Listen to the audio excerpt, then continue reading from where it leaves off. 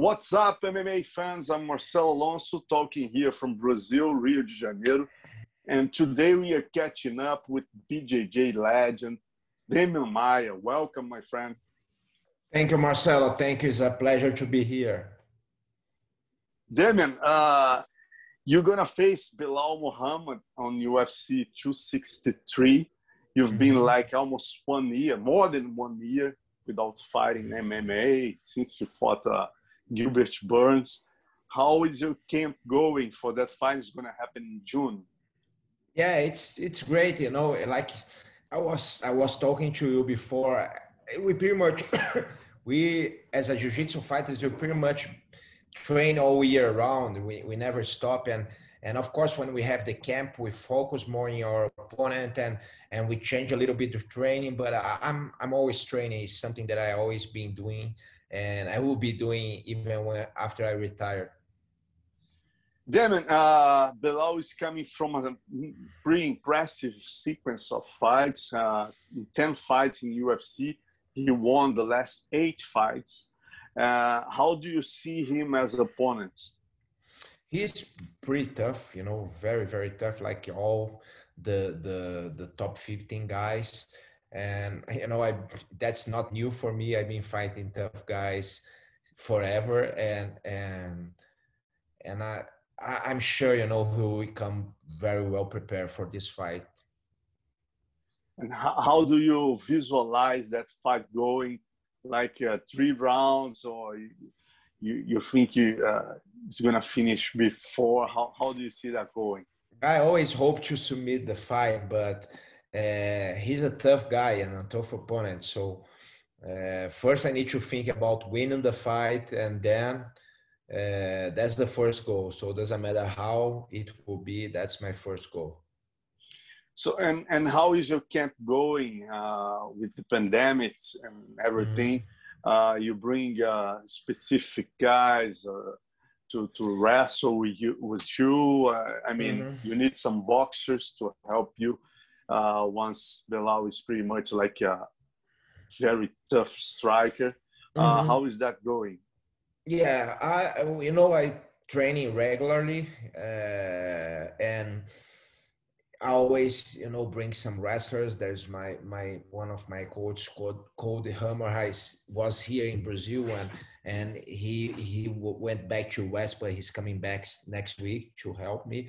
And I have a great sparring partners and and one of those like Elias Silvério is a very very tough fighter. He used to fight in the UFC. Now he's fighting in Russia, and he he's a very very good striker and and and uh, it's a, a, very tough guy to take down. So uh, I think I, I, have good good partners to train. And Demian, last time we talked, you said uh, that would be your last fight.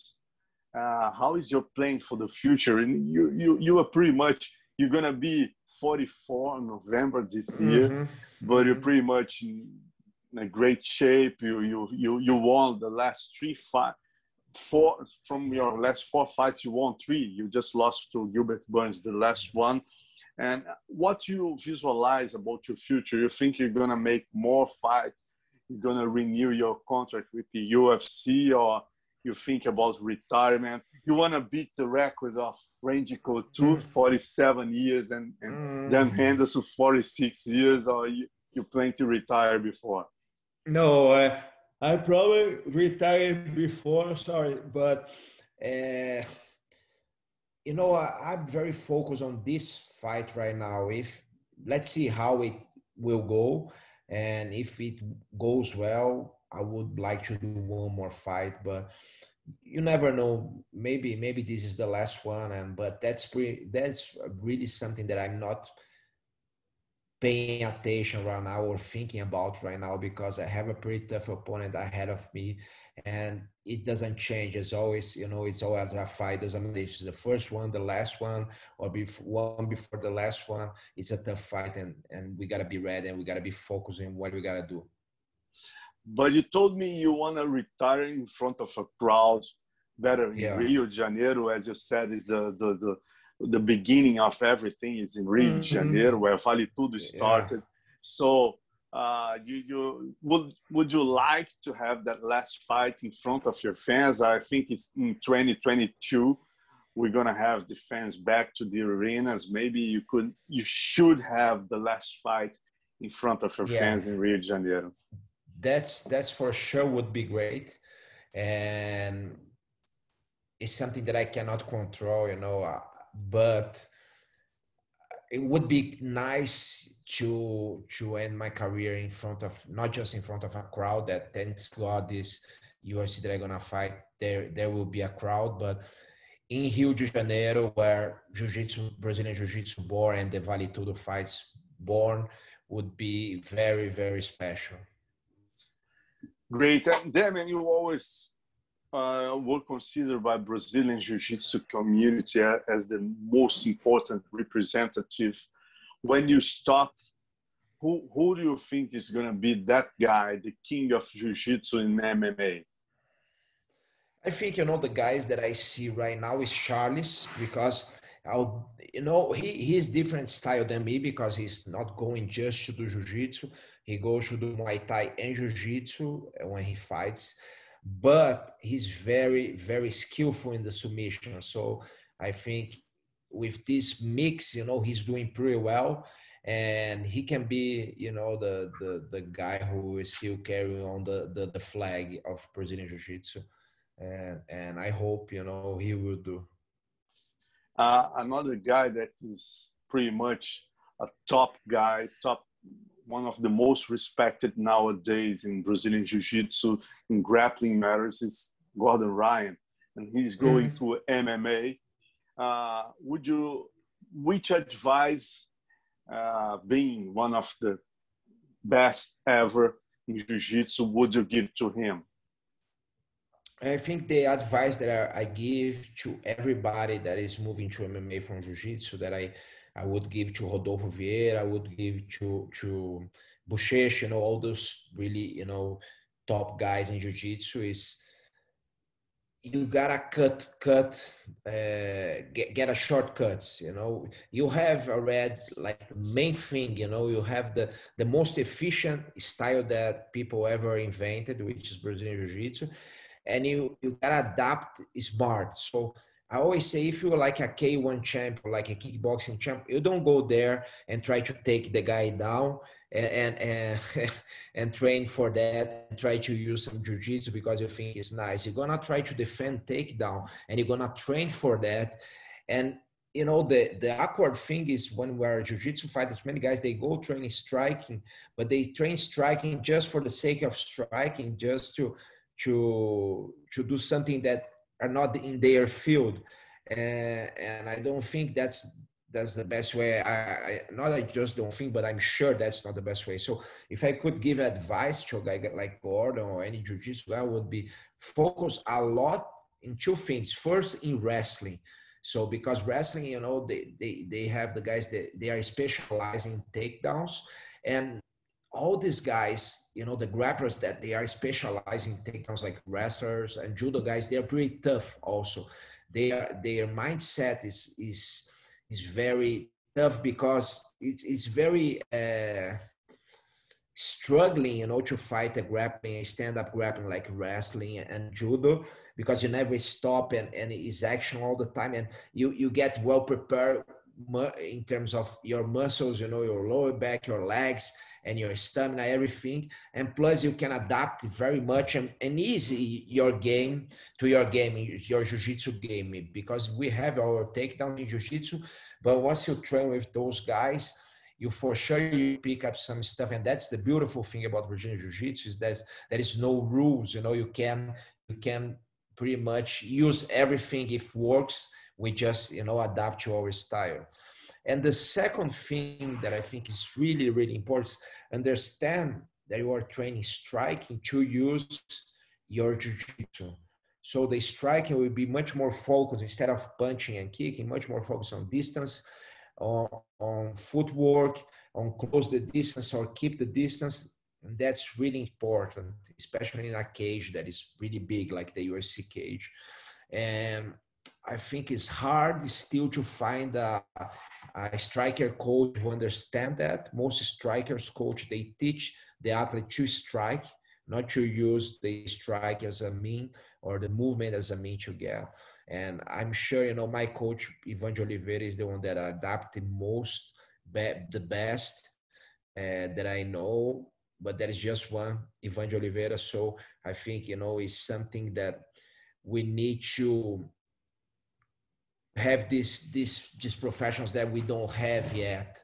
I think in the future we're gonna have a professional who understand if the guy is a striker, how he's gonna use his striking MMA, and if he, the guy is a grappler, how he would uh, train him to use his grappling MMA, and that's that's something that is, is new. The sport's new, so it's something that we're gonna have better in the future. So when I train, I never train just you know pure striking. I always train with clinches and this kind of thing because it's it's different. Let's say when you do like you know jab and cross, and you, you can do just jab and cross and go away. You can do jab and cross and sleep, but you can also do in an MMA fight jab and cross and shoot, or jab and shoot and jab and leave. You know, jab and so it's not the same as just striking. You you have the the shoots as a uh, you can shoot as as one part of the sequence you can jab shoot the guy escapes you you do a hook and this kind of thing. So it's not easy to find a, a coach who understands that. And i think this uh, is important. So anyways uh, there's two things train a lot of wrestling and try to find a coach or train your training you know train your coach to understand how we should use the striking and and and that is much more about footwork and, and distance management than the the actual striking. Then before I face uh, Gilbert Burns, you fought Ben Askren, historical mm-hmm. grappler versus grappler match. How do you see uh, his decision to take the risk of face those YouTubers, uh, Jake Boxers. Paul? Would you would you accept one million challenge to face some uh, Brazilian YouTuber uh, in a boxing match? Uh, it's so hard to say, Marcelo, because you know I hate I hate judge and and and I think you know he got a good money and and he he he decided okay let's go let's let's try let's give a try. Uh, maybe he could be more prepared you know for for the the the, the task but he, you always you always need to to give compliments to somebody who goes and tries something that is not your your that is not your expertise and and he's just for the sake of challenging himself. So i don't judge him uh, you know saying bad things. I just uh, maybe he could prepare more for that. I don't know if it's just because of the money or the challenge, but I don't care. You know, you are free to do wherever you want. Uh, and Demian, people are already comparing Kamaru Usman to GSP. Uh, mm-hmm. How do you do? You see someone to stop Kamaru Usman, uh, or do you think he's going to be the new king of the division? It's tough, but you know, I've been in this sport for a long time, and so many fighters that I saw uh, raising, rising, and people say, "Man, this guy will take like years till somebody taking out of this," and and was not so long how we expect. But Kamaru is is a tough guy. I think Kamaru is a very hard guy to beat. With that said, I think there's welterweight is a very competitive weight, so it just depends on Kamaru. If he's not in a good day, you know, in some tight defense, the the top guys can can can beat him, but it, it's very hard. You know, he he's very complete. He's very athletic. He's very technical. He plays. You know, he, he fights in in both instances. He can wrestle. He can. He, he's evolving. He's striking uh, he can fight on the ground. He does everything. It's it's pretty it's pretty pretty good athlete. Great, Devin. It's always a pleasure to talk to you, my friend. I'm looking forward to see your museum academy. mm-hmm. I hope after your fight you can go to Sao Paulo to finally uh, sure. meet you and, and see that amazing uh, new academy.